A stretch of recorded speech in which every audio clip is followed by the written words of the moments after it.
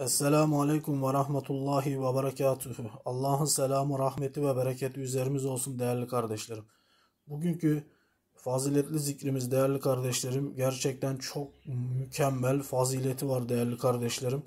Yapmamız gereken değerli kardeşim sadece ezan okunurken söyleyeceğimiz bir zikir var. Onu söyledim mi değerli kardeşlerim? Faziletinde diyor ki Allahu Teala o kişiye 2 milyon sevap yazar, 2 milyon günahını siler ve onu 2 milyon derece yükseltir. Buradaki kaynaklarda gördüğünüz gibi geçiyor. Ben açıklamalar kısmını da bırakacağım.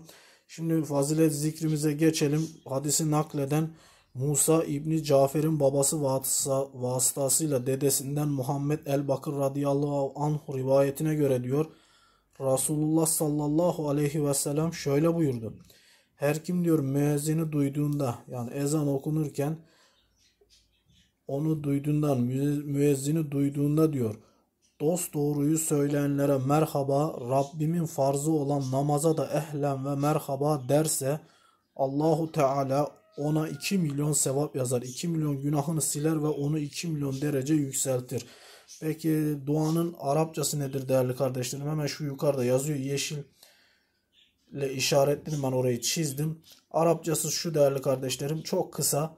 Merhaban bil gailine adlen merhaban bis salati ve ahla. Ben açıklamalar kısmına da bunu e, Arapçası şeklinde okunuşunda bırakacağım değerli kardeşlerim. İnşallah biz de bununla amel ederiz. Gördüğünüz gibi faziletine bakın değerli kardeşim. Burada yazıyor. Yeşil kalemle ben üzerini çizdim, not aldım. Açıklamalar kısmını da bırakacağım. Arapçası da çok kısa gördüğünüz gibi siz de bu Arapçayı ezberleyin ve ezan okununda bunu bir kere daha bir kere de olsa söyleyelim inşallah. Bu faziletten yararlanalım. Bir sonraki videoda değerli kardeşlerim görüşmek üzere.